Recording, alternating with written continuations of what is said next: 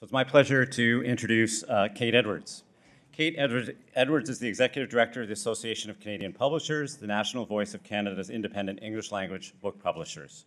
Kate leads ACP's government relations and advocacy program and oversees the association's communications, professional development, and marketing initiatives. An active participant in industry initiatives, Kate sits on the boards of eBound Canada, WorkInCulture, and Canada FBM 2020, the organization that will present Canada's guest of honor at the 2020 Frankfurt Book Fair. Please join me in welcoming Kate Edwards. Thank you to BookNet for the invitation to share ACP's 2018 Canadian Book Publishing Diversity Baseline Survey, which is the longest name for a report ever. Um, and I'm really pleased to say that it was publicly released today. It's available on our website for download. So uh, this presentation will be short and sweet um, a few of the key highlights, but uh, I encourage everyone to uh, visit our website um, if you're interested in learning more. Uh, like many ACP projects, the study was a collective effort, and before I start, I do want to acknowledge the work of Amanda Crocker, Annie Gibson, Tanya Martin, and Wendy Whitebear, who comprised the subcommittee that developed the survey and were with the project from start to finish. Um, I'm here today on behalf of them and the rest of ACP, but the project wouldn't have happened without them or uh, without the hard work of my colleagues at ACP, Jazz Cook, Madeline McCaffrey, and Emily Kellogg, who all played a role in bringing this together. So as background, this survey uh, was an initiative of ACP's Diversity and Inclusion Working Group, which was struck at our 2017 annual general meeting. Um, it was established at the direction of ACP's membership, which is, as Noah said, independent book publishers from right across the country. Uh, we have um, about 115 members in all regions of the country. And the intention of the group um, was to find solutions to the under, underrepresentation of Indigenous people and racialized Canadians working in our industry. The first activity that the group decided to take on was this survey uh, with the goal of producing a snapshot of the industry's current demographic makeup. The survey ran last summer and was open to anyone who self identified as working in Canadian publishing. Um, rather than cover the entire supply chain, uh, the subcommittee decided to focus on people who work for and with publishers to make books in Canada. So, full time, part time, freelancers, contract staff, interns, volunteers. If you work with a publisher, uh, you are invited to respond. We distributed the survey to um, our membership and also other publishing associations, uh, also through Quill & Quire and through social media. Um, the survey was structured uh, to be anonymous to protect the privacy of respondents, um, so that is something to keep in mind. Uh, we had a, a, base survey and then an extra set of questions for heads of firm um, and asked them about their companies. Um, that data and information about that group's demographics is also pulled out separately in the report.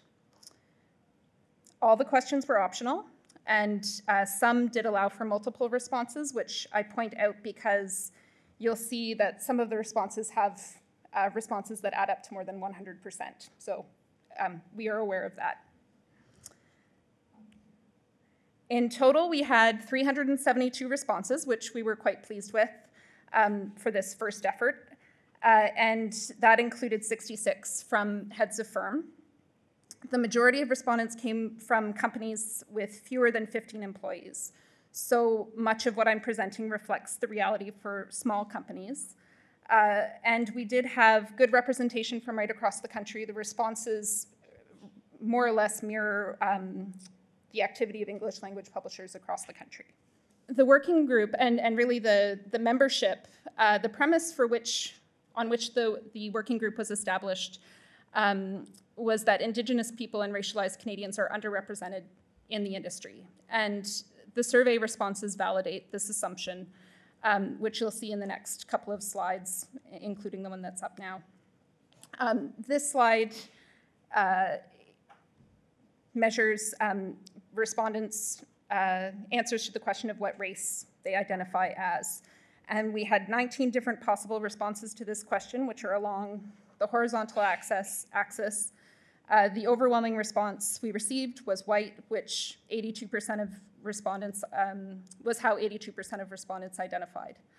Uh, other categories were, were quite low, as you can see in comparison. Um, the second most common choice or, or response was East Asian at 5% and other at, at 4%. And this is the same question, but a, a breakout of heads of firms only. Um, the number of, of respondents identifying as white was similar, give or take, to the broader pool. It was 78% for this group.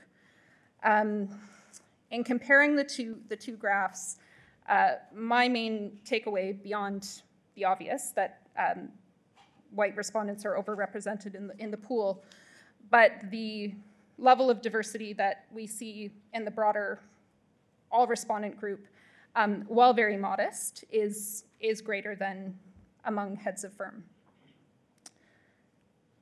Uh, moving on to gender identity, 74% uh, of respondents identified as female and 18% as male.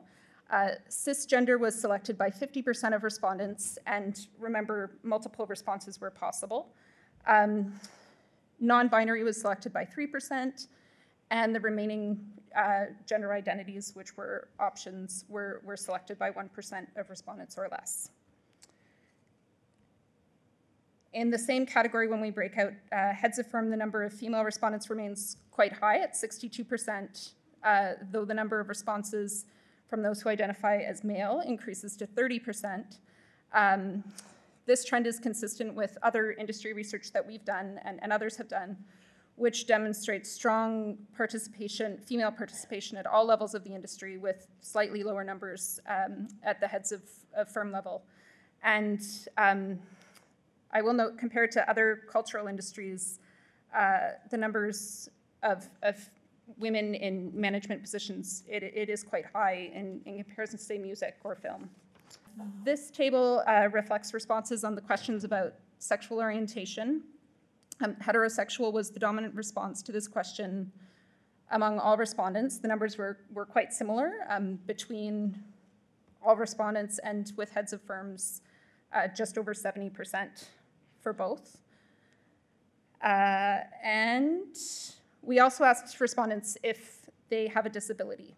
Numbers were very close, um, almost identical for both heads of firms and the full respondent pool. 17% said yes, and about 80% said no. Um, so this chart is the full respondent group, and then this one is, is heads of firm. We did ask companies if, uh, or the heads of firm only, um, if they have an accessibility policy in place and only 34% responded yes, which, um, as many people know, there are there is legislation that requires these policies, and this goes back to the morning session of, of the sort of spectrum of um, efforts around diversity and inclusion from compliance all the way to inclusion. And for me, this slide is a sign that more work needs to be done just at the, on the, I keep moving back and forth. Compliance was on this side. Um, on the compliance front in terms of education and other supports for, for companies to put those policies in place. So I've gone through that data really quickly, and there's a lot more in the report, but I, th I think the pieces that were most interesting for me and what I'd like to use the remaining time to summarize is some of the open-ended responses that we, we gathered. We asked all respondents to describe initiatives that are either in place now at their firms or initiatives that could be introduced to support greater diversity and inclusion in their workplaces. Uh, the report breaks these down in greater detail, but in the interest of time, I've summarized them together in groups. Um, there, there is quite a bit of repetition among the examples that came up, but again, um, I did really like the visual presented this morning of the spectrum from compliance to diversity to inclusion, and, and that comes up across when, when we look at the, the whole set of responses that came in. Um, some respondents are only beginning to consider this question um, and are more on the compliance side, and then others have been actively pursuing initiatives, uh, which came through in their responses. So the first uh, bucket of responses were around policy and compliance. Uh, these are the basics and, and they frequently came up as initiatives that are already in place.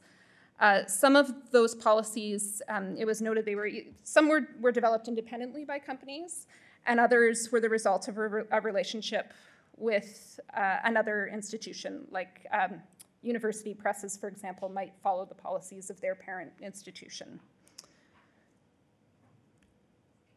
The next theme that came up was around recruitment and hiring practice. Uh, there were many notes about creating well paid internship opportunities for diverse candidates, active recruitment, not just posting jobs in the regular places, but looking further afield, and also the suggestion to reevaluate job descriptions to attract a diversity of candidates. The issue of seniority came up uh, as well. Um, internships often are the, the first place that this discussion goes. But within the results, there was acknowledgement that hiring for those middle and senior management positions uh, must also be considered. Uh, mentorship and professional development uh, was another bucket of, of initiatives. Um, cooperative learning within publishing houses and also within industry associations to develop best practice. And some of that work went on today, and I know it will continue um, through BookNet, ACP, and other organizations. Outreach to and partnership with community organizations, educational institutions, and publishing schools were uh, other frequent responses that came to us, uh, along with the suggestion to increase outreach to kids of all ages um, and from different communities uh, to educate them about uh, opportunities and careers in publishing. And the survey, as I mentioned at the beginning, um, the survey was about the workforce and its demographics. We didn't ask uh, specifically about editorial mandates or diversity of authors or books being published, but those activities did come up in the open-ended responses, and they're important to highlight as well. So things like commitment to diversity and inclusion being reflected in the company mandate, calls for manuscripts from diverse communities, um, establishment of diverse editorial or publishing boards, uh, engagement with sensitivity readers, and the use of accessible facilities for readings, launches, and other events. Though uh, the report uh, largely talks about employees in the workforce, um, I raise these other points because they did come up often, especially among smaller companies who might not have a large staff, but feel it's important for them to um, take a holistic approach to this issue and um, have it move through everything the company does, the authors and freelancers they work with, how they make editorial decisions. And um, this came up a lot in the working groups discu- uh, discussions as well. Uh, we did ask uh, heads of firms who didn't have plans to implement new initiatives um, around inclusion whether there are resources that would encourage them to do so. And the responses um, here are variations on the same themes uh, collaborative development of best practices, uh, dedicated funding supports, support for recruitment, training, um, and professional development, especially specific to small organizations uh, re-examining job requirements, and uh, again, ensuring office facilities are accessible. Uh, with respect to our working group's next steps, um, now that the report is released, uh, the working group hopes it will inspire discussion and action around this topic. Uh, the group continues to meet and is considering a variety of activities, uh, both to support companies at the firm level, but also to explore things that ACP could do as a collective, either within our association or with others. And uh, the subcommittee who developed the survey did intend it to be a baseline. Um, their recommendation back to the association is that it be repeated in three to five years' time. So uh, we hope we'll be able to revisit the topic um, and document how the industry continues to change.